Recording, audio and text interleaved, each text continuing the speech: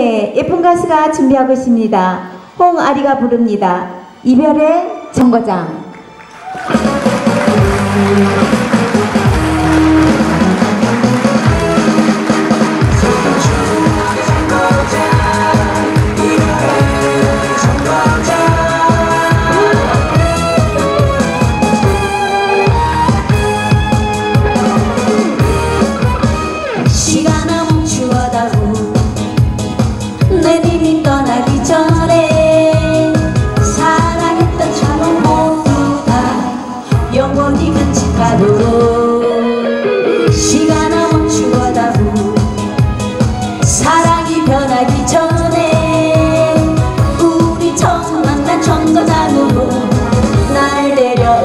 Senhor.